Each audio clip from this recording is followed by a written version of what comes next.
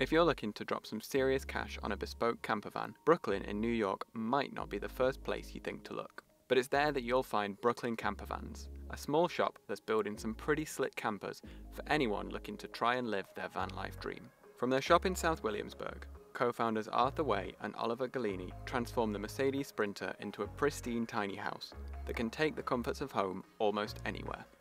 During the pandemic, Oliver and I were both travel filmmakers.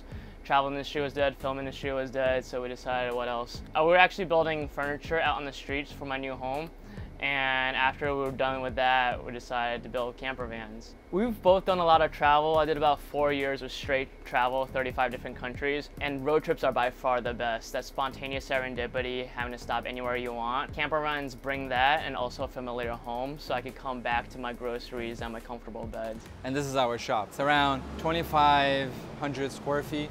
We do four vans at a time for a couple of reasons. One, of course, the space. Two, we keep the quality really high with the limited amount of custom creation that we do. So these are the 170. Uh, both of these are incredibly different. So this one right here, it's a van that we uh, bought, designed, and we want to, you know, explore what different technology we can use. But this is one of the early stages. So insulation, subwalls, electrical, ceilings.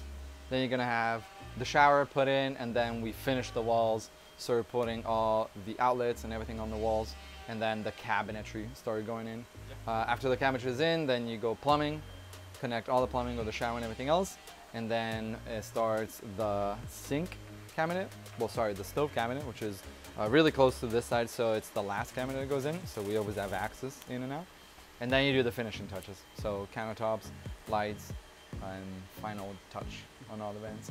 This is a really good combination. I feel like this is uh, the epitome of the design between me and Arthur, because me and him have really similar design, but as well really different designs.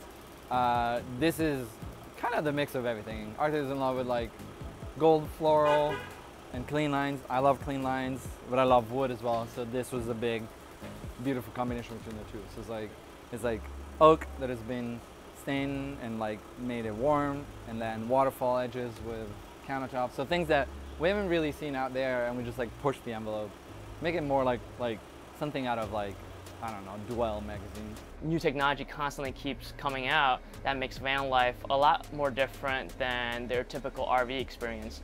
Now with this power station, you have 35 hours of AC off-grid. You don't need to be in an RV park. And with satellite internet, especially the new Starlink Roam, you don't need to set up. You have faster internet in Yosemite than I have in New York. And the world could be your backyard.